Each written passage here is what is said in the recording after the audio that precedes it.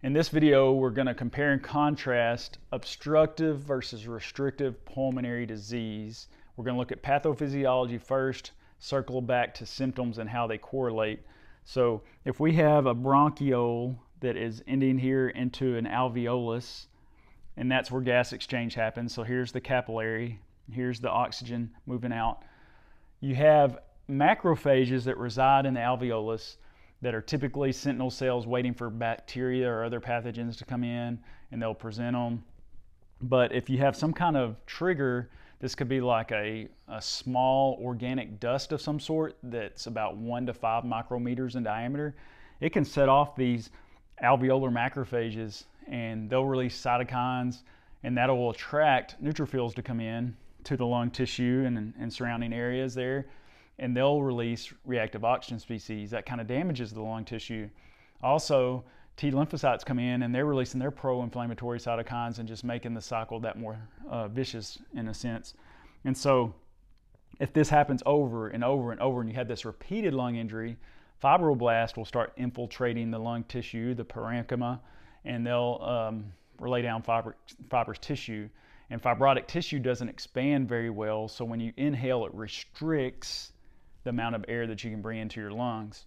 And um, you also have some of that fibrotic tissue that will kind of deposit around the basement membrane and perform a, a barrier to that oxygen exchange and carbon dioxide exchange.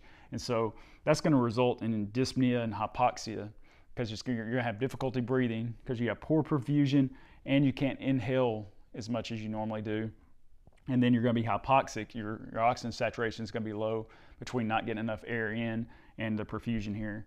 So if you listen to someone's lungs that has restricted uh, disease, then you'll hear crackles, little pops, because um, those little alveoli will collapse, and then as you inhale, it's almost like you have to uh, overcome that pressure and open them. And as the alveoli pop open, you hear little crackles.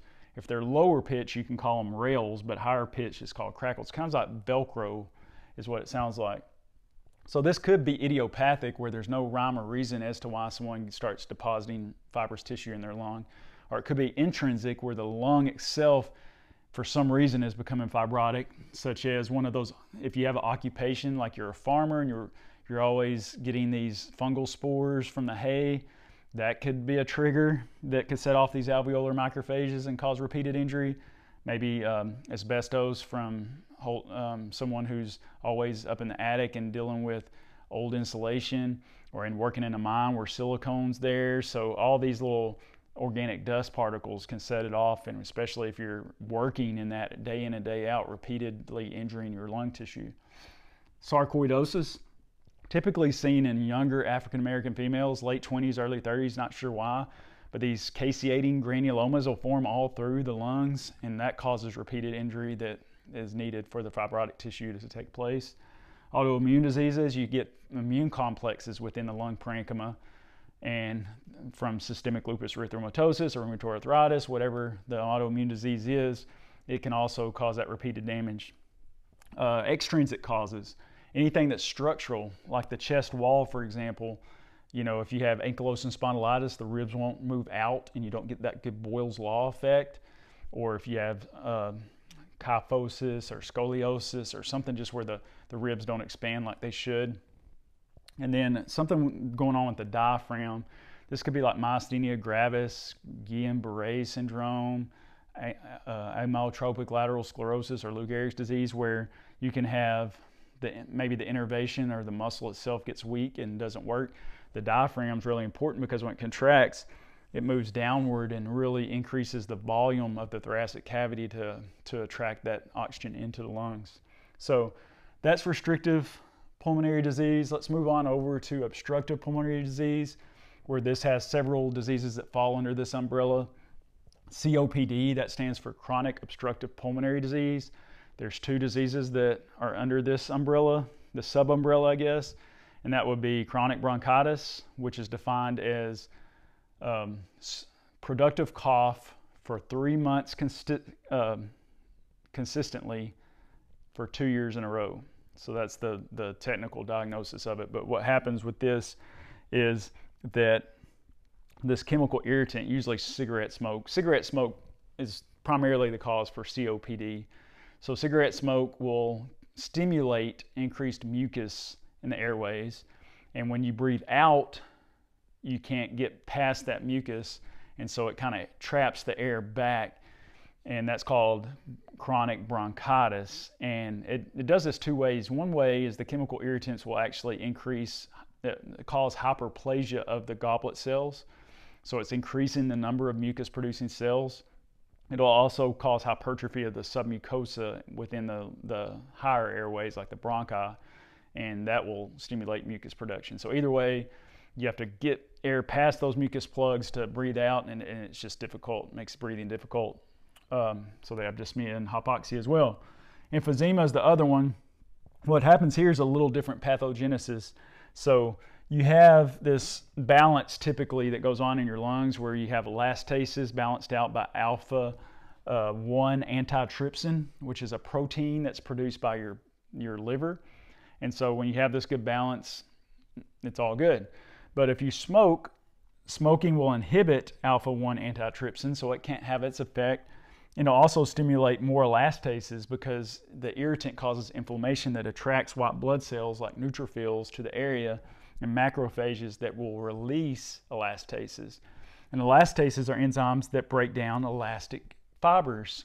So you have elastic fibers around your alveoli and around your bronchioles and your airways that when you breathe in, it'll expand and then it'll recoil nicely and really contribute to the expiration. And um, that expansion will also prevent those elastic tissues will also prevent them from collapsing. But if you have these elastases come in, and weaken those walls. And um, a lot of times these alveoli actually coalesce where if several of them come together to form bigger ones, that decreases the surface area, that decreases perfusion when you have decreased surface area for the gas exchange. So whenever you breathe out, a lot of times these little bronchioles will collapse and you get air trapped behind and you can't get the rest of your air out. And so you can actually use spirometry where you breathe out so you'll do a maximal inspiration. You'll breathe out as hard and fast as you can for a second. And if it's slower than normal, that's a good uh, indication that someone might have COPD or some obstructive pulmonary disease. So a big distinction is restrictive, you have trouble getting air in. Obstructive, you have trouble getting air out. And so um, that brings us to this air trapping that can take place whenever those bronchioles collapse. You can have hyperexpansion of the chest wall. They get this barrel chest, and in an X-ray you see uh, that hyperexpansion. You can percuss over the you can percuss over the lungs, and you, you get more of a resonant sound than you typically do. So you also hear upon auscultation a wheeze sound. So upon it's it's ex- expiration that you hear the wheeze sound, and a little bit lower pitch wheeze is called a rhonchi. And uh, two other forms of obstructive pulmonary disease include asthma. This is reversible. This is where some kind of allergen or cold weather or exercise can can cause a spasm of that smooth muscle around the, the broncho, bronchioles and it'll cause them to uh, constrict and it will be really hard to get the air out. You'll actually hear them wheeze even without a stethoscope and it's really important to reverse that as soon as possible with like albuterol inhalers that are beta 2 agonists that stimulate the sympathetic nervous system, get it more air in, dilate those um, those bronchioles. So that's asthma. And again, this is irreversible. You know, if you if you test it on spirometry, it's all it's going to be there. But asthma, it's only bad when they're having a, uh, a you know a flare up. And then this is cystic fibrosis, which is one more obstructive pulmonary disease where you have this gene on chromosome number seven. It's called the CFTR gene. It makes this protein that allows a good channel for chloride channels in the respiratory epithelium, that pseudostratified columnar epithelium that lines our respiratory tract. So what happens is it's on the apical side and chloride will move from the cell to the lumen of our respiratory airway and what it does is that chloride will move out and water will follow it because it's a solute. And through osmosis, water will follow it. And that'll provide a nice consistency for the mucus. and the mucus be watery and that mucociliary movement beating that where that cilia moves all the mucus upward and away from the lungs works properly. Well, when you have cystic fibrosis, the chloride gets trapped in those epithelial cells that line the, the airways and so water can't get out either. And the and the mucus that's produced is tarry and just kind of thick. And the, the cilia can't move it. And it's just like a breeding ground for for bacterial infections and viral infections. So you see a lot of recurrent infections. And when this happens it causes a lot of times complications where the smooth muscle of the bronchioles and the the uh, elastic tissue of the bronchioles get destroyed and it causes bronchiectasis where you have this big dilation kind of floppy um, uh, bronchioles. So that's obstructive pulmonary disease and uh, we'll see you in the next video. Thank you. Learn more about the human body. Subscribe turn on those post notifications give this video a big thumbs up. Bye